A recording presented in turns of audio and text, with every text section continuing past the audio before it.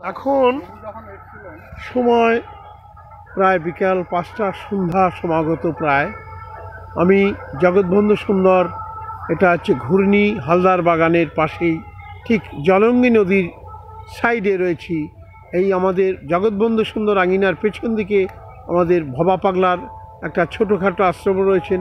আর জগৎবন্ধু সুন্দরের যে একজন প্রভু বা দাদা, যাই বলি বা ভক্ত বলি তিনি আমার সঙ্গেই রয়েছেন। আমি প্রকৃতির এই সান্নিধ্যে এসে এত ভালো লাগছে। জলঙ্গি নদীকে আসুন দাদা, একটু কথাবার্তা বলব।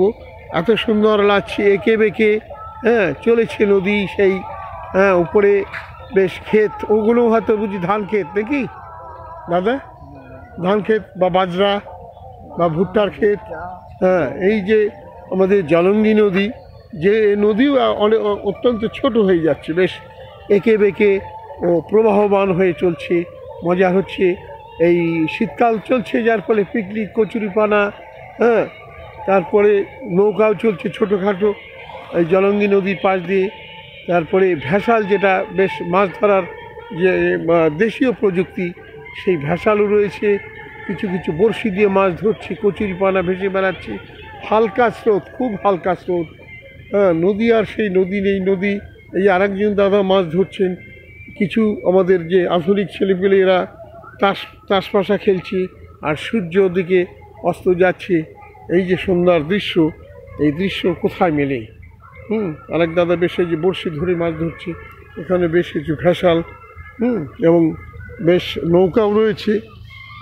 হ্যাঁ এগুলো হচ্ছে নৌকা, দেশীয় নৌকা।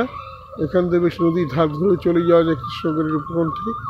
ওদিকে বেশ কলার কলার বাগান। এই বড়শির ছিপ ফেললেন। খুব ভালো লাগল। জলঙ্গি নদী দর্শন হলো আমার। আমি খুব ভাগ্যবান এই সাধারণতন্ত্র দিবসে।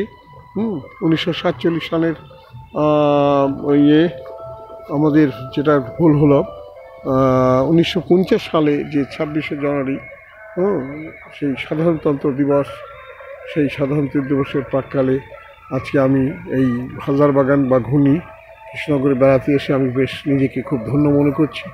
বেশ ভালো ভালো ছবি পেলাম।